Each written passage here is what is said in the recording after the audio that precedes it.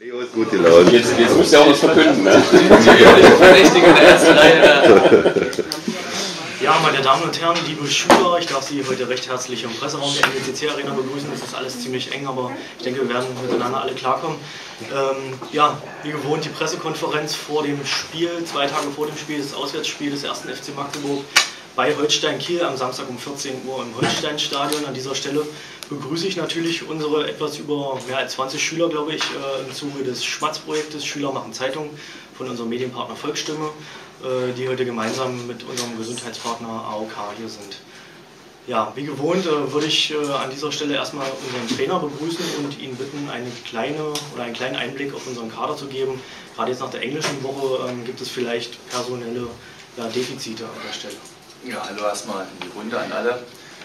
Es bleibt wahrscheinlich so wie, wie zuletzt, aber wir hoffen natürlich noch, dass Herrn Klinker äh, zurückkommt. Äh, der hat äh, bis jetzt noch nicht trainiert. Wir erwarten ihn heute, er wird erstmal locker laufen und wir hoffen, dass er morgen normal mittrainieren kann und dann eben auch mitfahren kann. Äh, ja, ansonsten hängen die alle die Bekannten halt, Putti, Felix, äh, Piotr Quillon, äh, Moritz Sprenger und Andrea Heino, die dann eben Lukas Nowick noch dazugekommen, der also auch bis jetzt erstmal ausgesetzt hat. Also ist im Moment relativ überschaubar, aber wir werden genügend Leute nach Kiel nehmen. Ja, Kiel ist das Stichwort, nächstes Auswärtsspiel. Ja, die Kieler haben zuletzt zweimal gewonnen, auch zu Hause gegen Spitzenreiter MSV Duisburg. Das ist äh, eine richtig gute Mannschaft, den Zettel. Was, was erwartet Sie da am Samstag im Wohnmorgen? Ja, es wird eine schwierige Aufgabe. Kiel ist glaube ich, tabellarisch die beste Heimmannschaft, äh, die da die meisten Punkte gesammelt haben, auch zu Hause.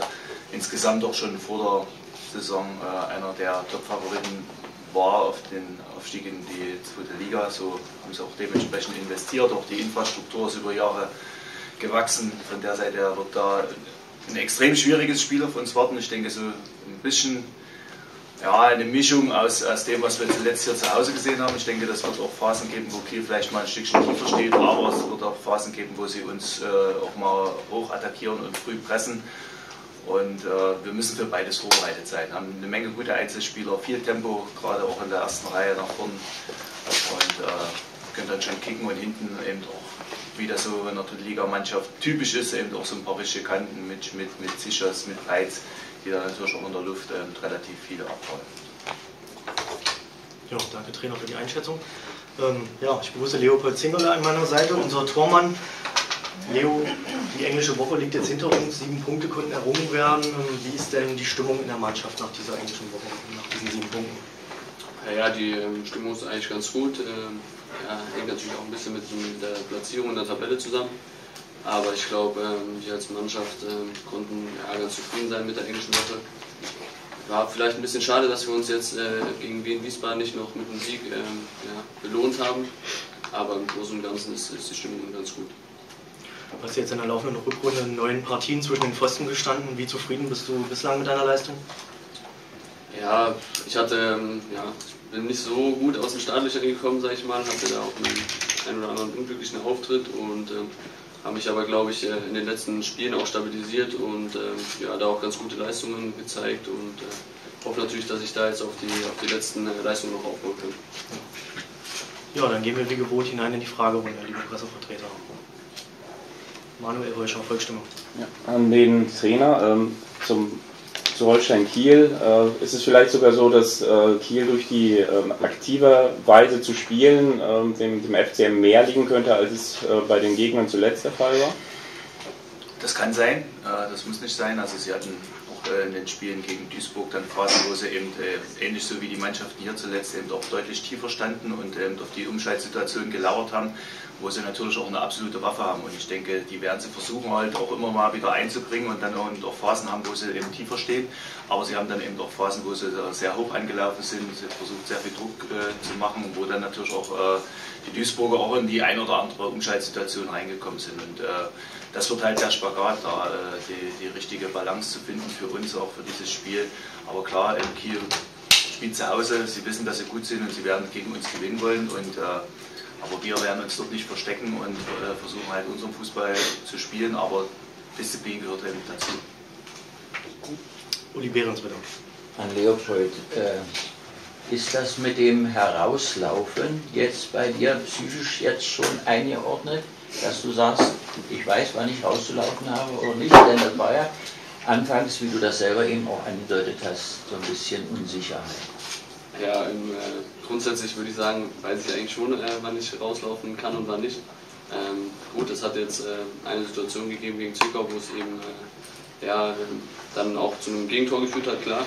Aber ich glaube, es gab ähm, in den Spielen auch Situationen, wo ich eben äh, außerhalb vom 16er Situation geklärt habe, die, äh, mit denen ich der Mannschaft auch geholfen habe, die halt so ein bisschen in Vergessenheit geraten sind.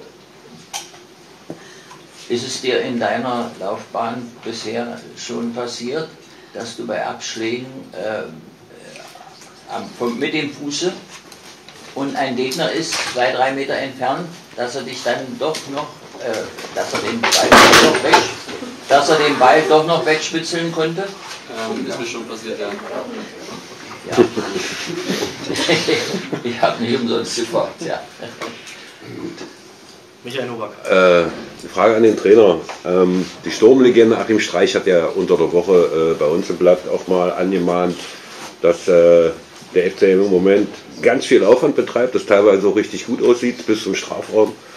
Der Club aber kaum äh, eher zu Strafraumabschlüssen kommt äh, in Richtung Tor. Ähm, hat da auch ein bisschen äh, Christian Beck in Schutz genommen und meinte, der bräuchte mehr Unterstützung äh, von seinen Kollegen, dass die erstens selber torgefährlich wären, um Last von ihm zu nehmen und ihn auch natürlich mit den Bällen füttern, die er braucht. Ähm, ist das ein Thema für Sie oder äh, sehen Sie das anders? Ja, wir, wir registrieren das schon, dass er nicht ganz so viele Abschlüsse hat, äh, wie das eben äh, sein könnte. Trotzdem gibt es genügend Situationen, wo er halt trotzdem eben doch hätte stechen können, ja. Also mhm. ist, wir haben so viele Standards, wie wir in den letzten Spielen hatten, eigentlich auch immer ein Stück schnelle Waffe von uns, wo wir eben relativ wenig draus gemacht haben. Ja. Dann lag das sicherlich an, an, an verschiedenen Dingen, vielleicht nicht die richtigen Varianten gespielt oder nicht konsequent durchgespielt.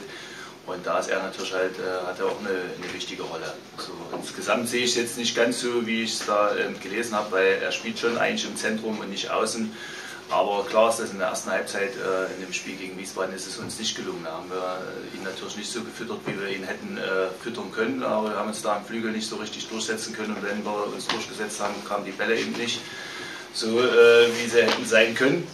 Zweite Halbzeit, denke ich, haben wir das äh, insgesamt äh, ein bisschen besser gemacht, hatten da eine bessere Balance und er wird schon noch zu seinen Situationen kommen, aber er muss wie das immer so ist, äh, auch seinen Teil dazu beitragen, um aus so einer Situation rauszukommen. Das äh, jetzt nur mit dem Finger auf die anderen zu zeigen, äh, ist dann immer schlecht. Also mhm. da muss man dann halt selber auch nochmal den Tick mehr machen und sich da natürlich auch in den einen oder anderen Situationen dann eben durchsetzen. Klar ist natürlich, dass sich alle auf ihn fokussiert haben und dass es natürlich nicht mehr so einfach ist wie mhm. im letzten Jahr oder vielleicht mal hinterher. Und Behrens. Ja, äh, im Augenblick ist ja eine sehr stabile äh, Abwehr äh, mit beinhaltet äh, Leopold. Äh, wenn jetzt Felix Schiller zurückkommt, gibt es dann ein bisschen Schwierigkeiten für den Trainer, äh, die Abwehr dann einzuordnen, die Spieler dann einzuordnen. Erstmal ist es immer so, Felix Schiller ist jetzt noch nicht im Mannschaftstraining und er wird sicherlich auch noch eine Weile brauchen. Also das sind so Gedankenspiele, wo ich mir jetzt gar keine Gedanken mache, weil ja. dann ist vielleicht der Nächste verletzt oder gesperrt. Von der Seite her ergeben sich dann immer Dinge selber. Also da bin ich also relativ entspannt und mache mir da wenig Gedanken. Wir würden uns freuen, wenn Felix gesund äh, zurück ist und äh, äh dann wieder einsteigen kann, denn im Moment, äh, wenn Steffen Puttkammer verletzt ist, ja, haben wir nur drei Innenverteidiger. Ja, ah, ja. Von Nico Hamann ja äh, vielleicht nicht mal ein gelernter Innenverteidiger ist. Also haben wir eigentlich nur zwei. Von der Seite freuen wir uns über jeden Spieler, der äh, gesund zurück ins Mannschaftstraining kommt und äh, auch den Konkurrenzkampf in der Mannschaft hochhält. Danke. Ja, ich wollte nochmal äh, zur psychologischen Situation innerhalb der Mannschaft äh, zurückkommen, ähm, weil ich sag mal, diese Situation, dass man im, im Aufstiegsbereich ist, die wird ja jetzt, äh, ich sag mal, immer dramatischer. Und wie, wie, wie spüren Sie das beim Training in der Kabine mit der Mannschaft? Äh, dieser, dieser Aufstiegsdruck, ist der zu spüren oder ist die Mannschaft äh, äh genau so, wie sie immer ist? Aufstiegsdruck, äh, Das war jetzt nicht. Ist ja schön, wenn es nicht so wäre. Das ist ja schon, wir haben schon andere Phasen hier erlebt. Wir, wir wissen das zu schätzen. Und ich denke, man hat das gesehen, dass die Mannschaft das, äh, die Spiele eben jetzt auch gewinnen wollte. Also wir haben ja jetzt nicht hier gegen Wiesbaden äh, auf 0-0 gespielt, wir haben in Bremen nicht auf 0-0 gespielt, sondern wir wollten die Spiele gewinnen und wir hatten die Chance dazu. In Bremen haben wir sie genutzt, äh, gegen Wiesbaden haben wir sie nicht genutzt, weil denke ich mit der Chance von Nils Putzen und mit den Elfmeter Riesenmöglichkeiten äh, in der letzten Viertelstunde. Also von der Seite her, die Mannschaft will jedes Spiel gewinnen und will das Maximum rausholen und das wird sie auch in Kiel tun. Und da, äh, ja, und immer noch mal mit dem Fallschirm, dass eben nach unten eigentlich nicht mehr so viel schief gehen kann. Wir können eigentlich gar nicht verlieren, wir können nur gewinnen und wir schauen auch von Spiel zu Spiel, weil äh, dann groß, es sind noch zehn Spiele, da ist also noch eine, oder ne, neun haben wir noch, oder? Zehn. Zehn. Also da kann schon noch eine, eine Menge passieren und da brauchen wir jetzt auch noch nicht allzu viel groß zu erzählen, weil das nächste Spiel ist entscheidend und Sie sind ja dann immer die, äh, die Medien, die dann halt das nächste Spiel dann eben so beurteilen und dann ist dann alles wieder ganz schlecht oder ist eben alles wieder ganz gut und äh, wir können diesen äh, Zirkus natürlich nicht mitmachen. Also wir müssen halt immer die Balance finden und äh, sagen wir auch, bei schlechten Spielen gibt es halt auch gute Dinge und bei guten Dingen gibt es halt auch schlechte Dinge. Und äh, das Selbstvertrauen der Mannschaft ist, denke ich, gut, die Stimmung ist gut. Wir haben gestern auch gut trainiert, trotzdem, dass wir eben auch relativ wenig Leute im Moment sind. Weitere Fragen? Gut, dann beenden wir die Pressekonferenz erstmal mit offiziellen Teil an dieser Stelle. Vielen Dank für Ihr Kommen und der Mannschaft viel Erfolg in Dankeschön.